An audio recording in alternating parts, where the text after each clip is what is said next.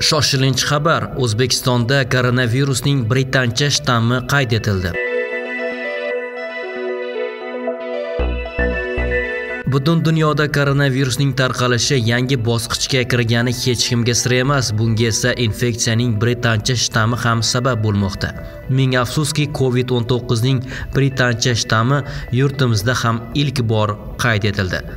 Bu haqda Sog'liqni saqlash vazirligi matbuot xizmatiga Sog'liqni saqlash vaziri o'rinbosari, sanitariya epidemiologik osoyishtalik va jamoat salomatligi xizmati boshlig'i Bahodir Yusupaliyev xabar berdi.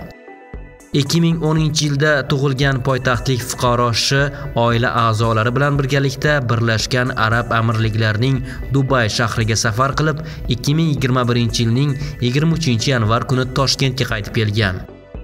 O'rnatilgan tartibga ko'ra, xalqaro aeroportdan fuqaro ekspress usulida test olinganda, unda musbat natija qayd qilingan. Shundan so'ng bemor zudlik bilan yuqumli kasalliklar shifoxonasiga tez yordam mashinasida olib kelingan.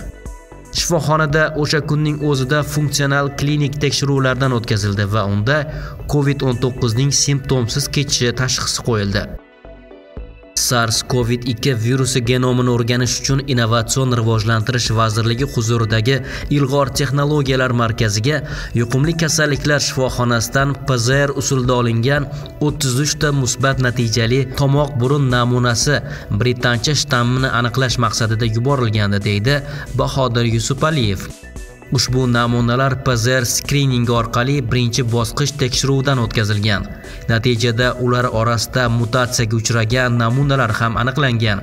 Kuni kecha ikkinchi test bosqichida mutatsiya aniqlangan namunalardan birining genom qismida britancha shtammga xos bo'lgan qo'shimcha mutatsiya mavjudligi tasdiqlangan.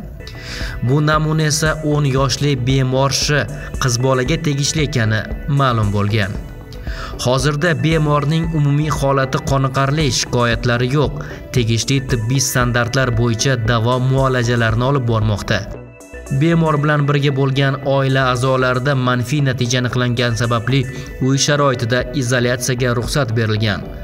Sog'liqni saqlash vazirligi ana shu vaziyatdan kelib chiqib yana bir bor hushyorlikka, jamoat hamda ish joylarida tibbiy niqobni to'g'ri va doimiy tarzda taqib yurishga, ijtimoiy masofani saqlash, qo'llarni muntazam yuvib turish kabi kundalik odatlarni kanda qilmaslikka chaqirib qoladi.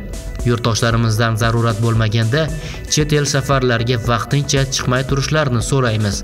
Aziz yurtdoshlar, o'zingiz va yaqinlaringizni asrang. Salomatligingiz o'z qo'lingizda deyiladi Sog'liqni saqlash vazirligi xabarida.